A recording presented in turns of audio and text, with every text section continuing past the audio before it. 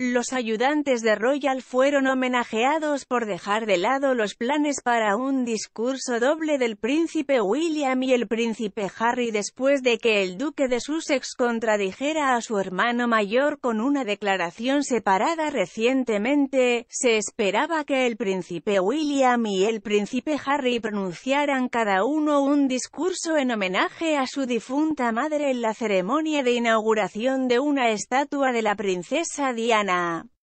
Los dos hermanos finalmente emitieron una declaración conjunta en un conmovedor guiño a su amor, fuerza y carácter. El autor real Robert Lacey insistió en que los ayudantes del palacio habían sido sabios al evitar que el duque de Cambridge y el duque de Sussex pronunciaran discursos diferentes. En declaraciones a Mail Más, el señor Lacey dijo, uno notó que cuando salió el informe Dison, William entró directamente con lo que quería decir.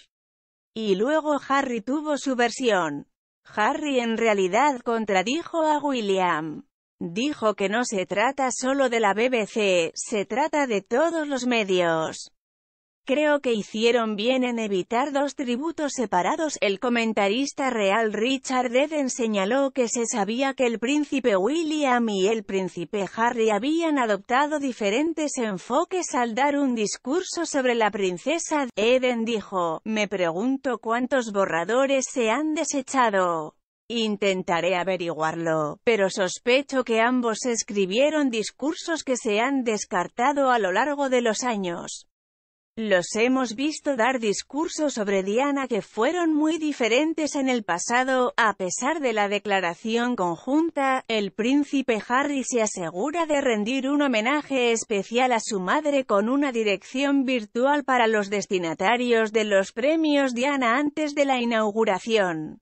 El duque de Sussex dijo, a finales de esta semana, mi hermano y yo reconocemos lo que habría sido el cumpleaños número 60 de nuestra madre, y ella estaría muy orgullosa de todos ustedes por vivir una vida auténtica con propósito y compasión por los demás. Nuestra madre creía que los jóvenes tienen el poder de cambiar el mundo. Ella creía en tu fuerza porque la veía día tras día, y en los rostros de jóvenes exactamente como tú, fue testigo de un entusiasmo y una pasión sin límite.